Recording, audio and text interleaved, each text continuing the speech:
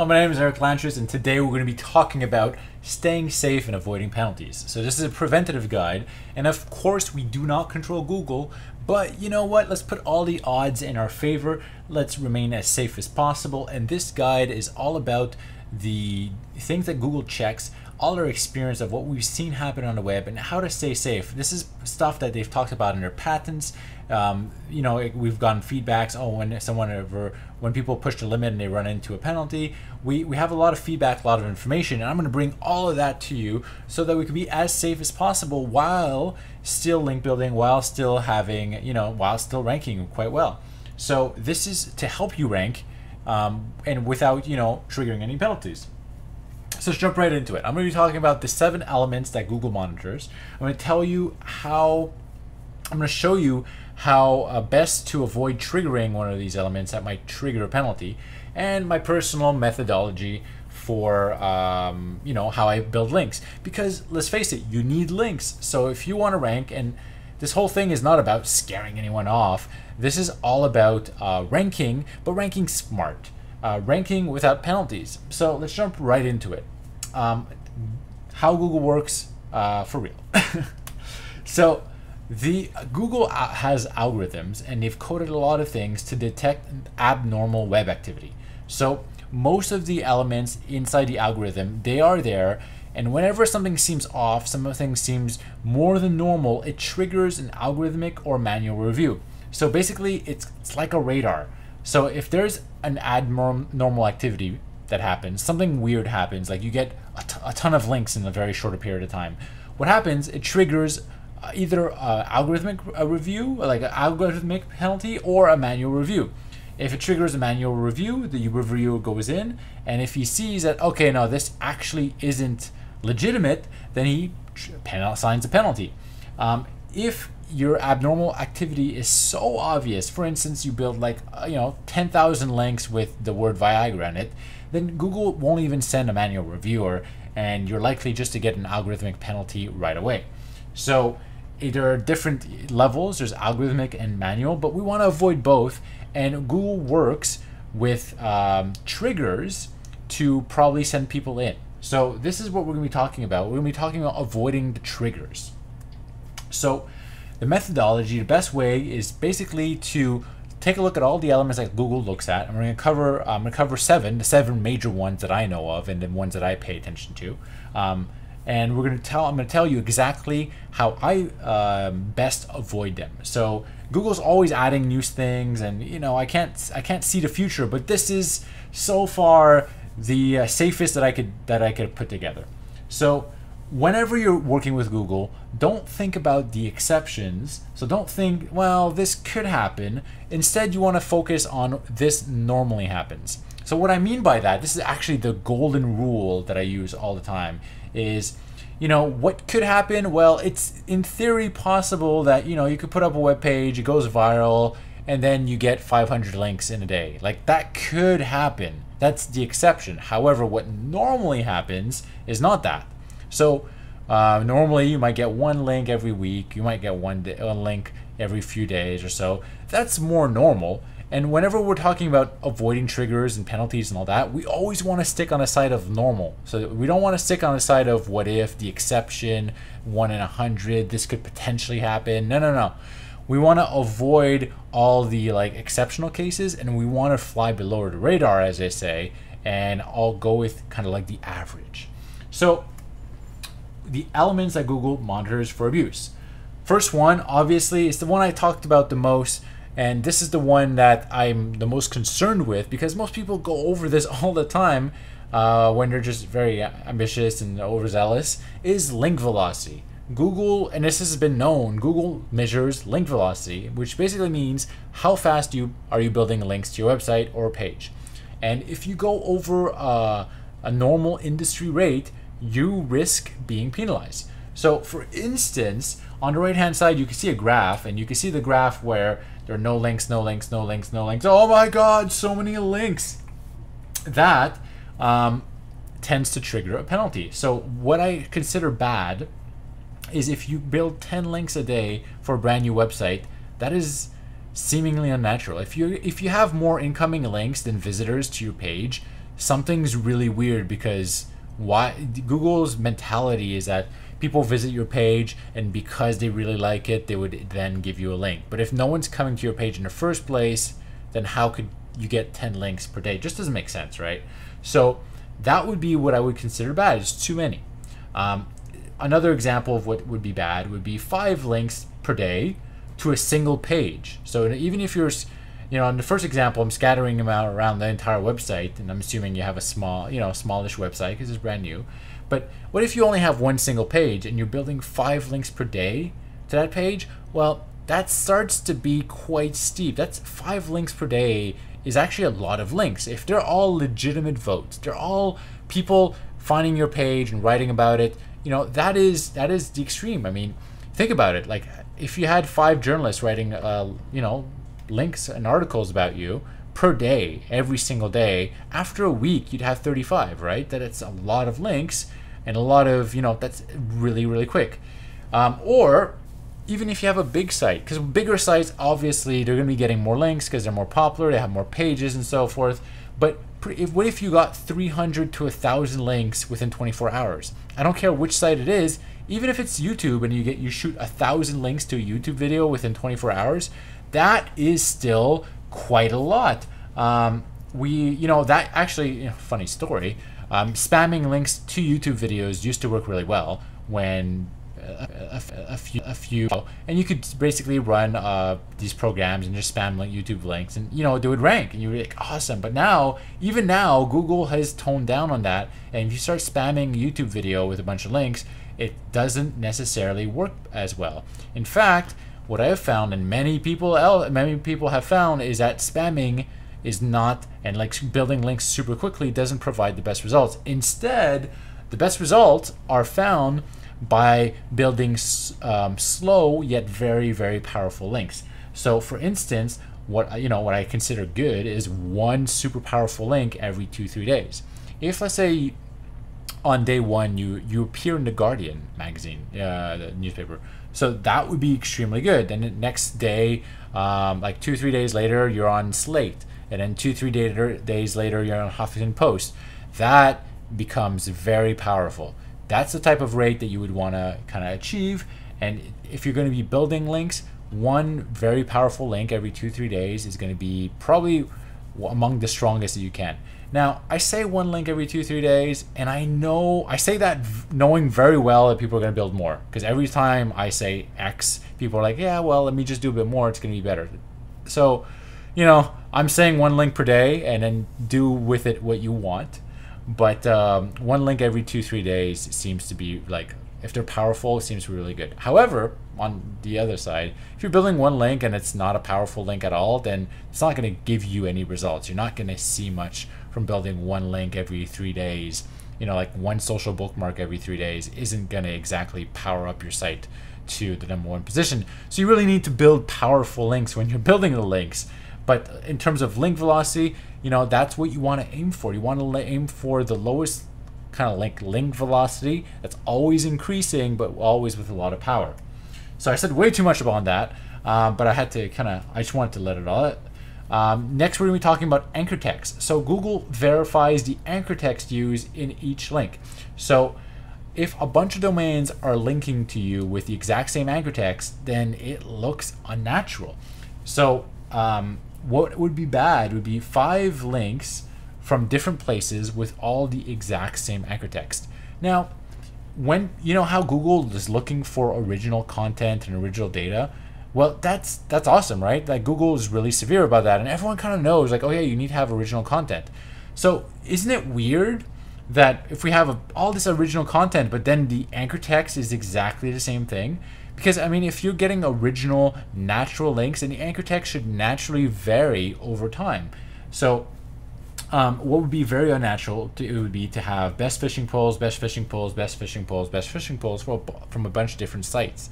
That's really, really odd and weird. Um, or if they're repeating with extreme um, similarity. So if you have like best fishing poles, best fishing poles, um, the best fishing poles, best fishing pole without an S, as they're all very, very, very, very similar, then that also could be seen very suspicious. So what I instead recommend is going to be to vary every single link with slightly different anchor text. So if you have best fishing pole, or you have like, hey, I found the best fishing pole, or um, I just reviewed this great fishing pole, or this top the top fishing pole, or so.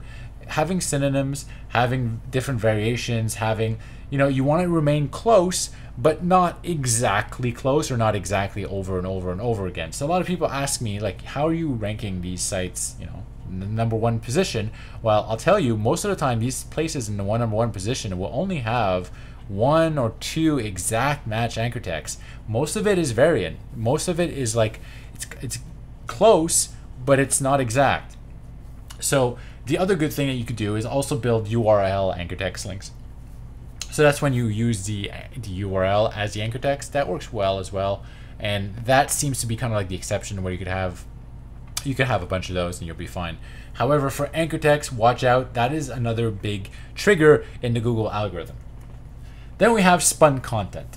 Spun content, I, I, I get so many questions on spun content because a lot of people, I don't want to say, it's just, it just seems like an efficient way of doing it but Google has algorithms that detect spun content. They've designed algorithms that detect specific spun content from different spun content creators, for instance. Like they know the best spinner, they know Content Machine, they they know that programs are out there, and they test their algorithms to see if they catch that spun content. So um, when Google finds your links inside spun content, then it's an obvious flag. It's an obvious trigger that like, hey, this guy has 400 links and they all come from spun content. Content that seems a little odd. So um, that you know that's an obvious trigger. So you want to obviously make sure that your link is not included in spun content. So if you're building a bunch of blogs or you're just distributing articles or doing whatever you want, I recommend don't use spun content because even if Google doesn't detect it today, they're always improving on their spun content detection algorithms, right? They're always making it better. So if you want to, you know, future proof yourself, then even if they don't detect your spun content today, they might detect it in a year or so. So you want to make sure that you're using original, high quality material, and that just puts all the odds in your favor, right? It's put all the side. So that's really going to be a next big thing where sometimes, you know, many, many, many, many penalties um, come because people are using spun content. It wasn't detected, and then Google comes out with a new algorithm that detects their spun content, and then they're like, oh well, you have you know 400 links of spun content. So you want to avoid that. The next thing is going to be irrelevance. Now irrelevance is basically it's it's very simple. It's just does your do your links come from relevant pages or not? So if you have a dentist site and you have a bunch of links from car, casino, supplement pages from all over the place, but you don't really have dentist links coming in, that seems quite suspicious and that could trigger um, penalties. That could trigger uh, red flags that your site's getting a lot of links from really random places. For instance, profile links. You know, it had the profile packets where people just built profile links all over the place. That's very suspicious when no, none of the links are coming from industry sites. Um, what is good is if you do actually get you know links from industry sites. If you have a car site, and you're getting uh, links from trucks, racing pages, and like you know tools and all that. That that just that's just awesome. So um, watch out for relevance. The next thing is also going to be on content. It's going to be about low quality content and thin content. So Google actually even talks about this in their their guidelines and all that. They talk about how the algorithms evaluate page quality, and if you have a lot of links coming from pages that have gibberish or just have like a bunch of like or that really really thin. So if you have a your link in a bunch of profile links, or if you have like you're in a lot of thin uh, directories, or like you have your link like I said in gibberish. So basically you know, weird sentences, just mashup of words basically. So it's original, but it doesn't make sense. Then that is an extremely bad sign that tells Google that you know you're just trying to artificially create links. So instead, obviously, the completely obvious thing is just get links from high quality content. So I always try to get links that on pages that meet the minimum quality guidelines. So you, you know what we're talking about. Um, you know, enough text, original images, um, related content around, relevant re relevant links. You kind of want to have the whole package. You want to get yourself some links from high quality pages. Um, the next thing that Google looks at is going to be abnormal link maps. Now, what do I mean by a link map? Well, I'm basically, you know, if Google kind of has like an overview or a top-down view of the entire web, and if your website um, has receives basically, you know, let's say 50 links from the same IP, but they're all different websites, but they're all hosted on the same IP, that looks weird. That looks odd. So even though it's completely normal to own hundreds of sites, you know, there are people, there are stock, bro- there are, I mean, website brokers. Uh, I own a ton myself. You know, a lot of people own a lot of websites. Websites are, are like real estate, so that's normal. Um, however, what isn't normal is to have all those same, same websites on the same IP. Um, even though it is sometimes normal to have a bunch of websites on an IP, it is not normal for you to own all your websites on the same IP and then take all those links and point them to one place. So basically, what it comes down to is if you do own a lot of websites and put them on different IPs, um, vary them up, put them on different IPs, put them on different hosts, and you want to basically not take all your 50 or 100 or how many sites you have and point them all to the same place. It's all about diversity. It's about varying things. So even though you're you're perfectly fine, you're allowed to own as many websites as you want. Just don't point them all at the same page or the same place because then that triggers a red flag in Google's eyes. And the best thing is, as I was always saying, I was saying, I was saying before, you really don't need that many powerful links to rank. So it's not about having a thousand links. It's about having maybe 10, 20 that are really strong. So if you have 10, 20 links and they're all coming from different places, and they're on different hosts. Maybe you used a different registrar and you register different um, different accounts and so forth.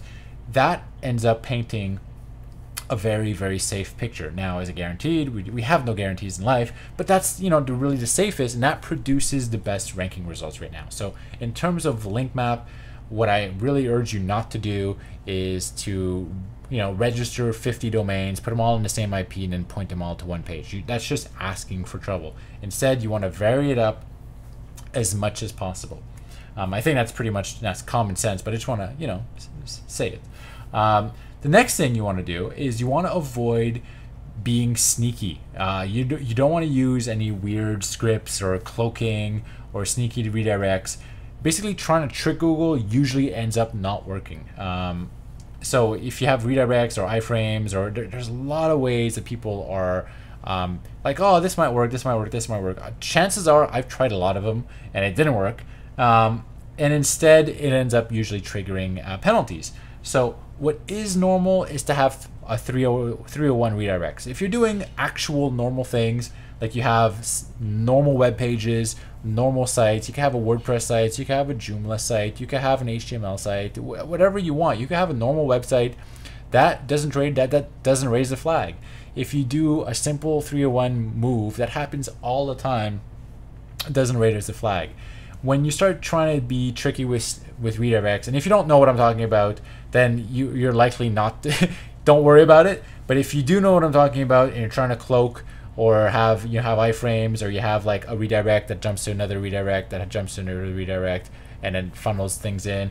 That when you start getting into some crazy stuff like that that's when google you know when they catch you they catch you. So um, just keep it simple basically. That ends up being the the idea. Just keep it simple do what works and that ends up being the safest way. So the best way really uh, to remain safe is to act normal, uh, act slow and natural and normal. See, I don't. I try to be.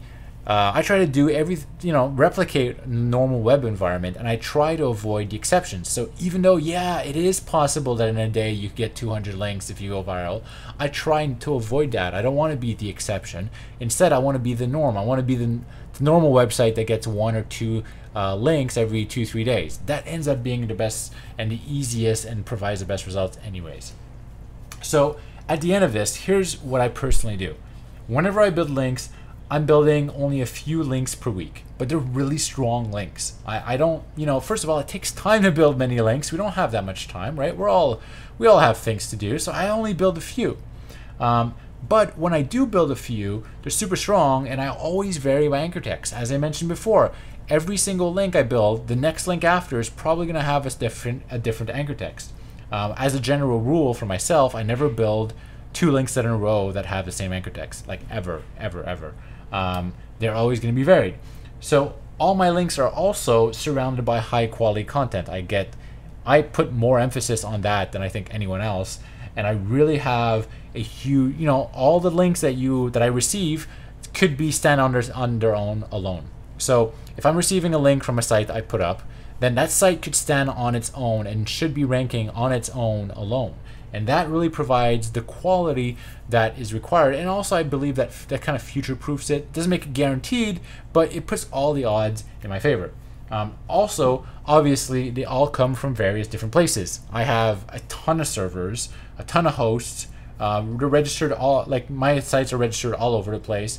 And I, like I said, I, I own hundreds of sites, but that doesn't mean that they're all in the same uh, same name, same IP, and they're all hosted in the same place. I I have a lot, a lot, a lot of diversity, and some domains, you know, I just own them, but they're, they're not even. I'm not using them right now. I'm just holding them because domains, you know, good domains are like real estate.